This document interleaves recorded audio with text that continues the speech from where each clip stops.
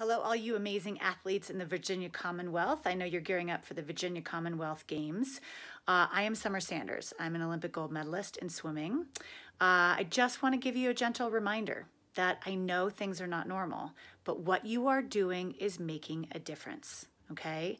Uh, sometimes normal and according to plan can turn out to be exciting and amazing, right? Have you ever gone to your race and showed up in the wrong lane or you were late and didn't get the warm out warm up in that you thought you should? Uh, you were late to your race and had to run to the starting blocks. Um, sometimes you didn't have the right shoes, you didn't have the right shorts, whatever it was.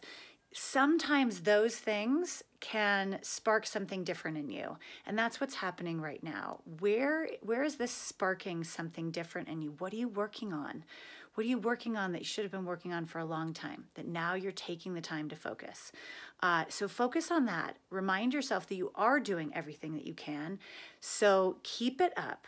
Stay positive. Stay positive. You have a choice every single morning. You really do.